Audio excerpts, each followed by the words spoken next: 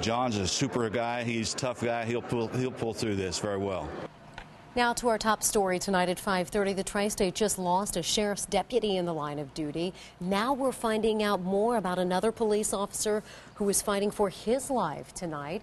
A Mason police officer was out riding his bike when he fell off and hit his head. He has spent the past week now in critical condition. News 5's Andrew Setters finds another outpouring of support in a community already rocked by tragedy.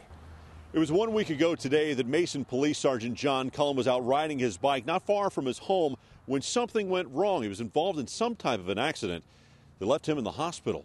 It happened along this stretch of Lebanon Road in Loveland. John Cullen was out riding his bike with his dog, following on a leash when somehow he fell. We're not really actually sure what exactly happened. We just know that he fell off the bike, was not wearing a helmet, um, and um, has a traumatic brain injury right now.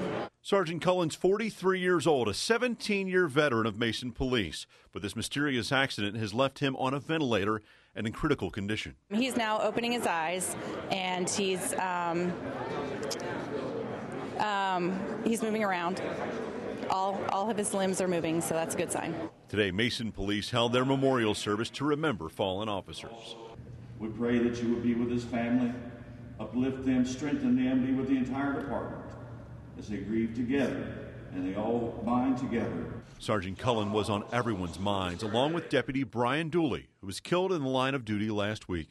Warren County Sheriff Larry Sims was with Sergeant Cullen's wife today, sharing sympathy and support as so many have during this difficult time. It is undescribable. Um, you always hear about the brotherhood of the police, and um, I really, I've witnessed that this week, and it's just, it's phenomenal.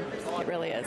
Sergeant Cullen's wife tells us it's too early at this point for the doctors to have much to say about his long-term chances of recovery. Andrew Setters, News 5.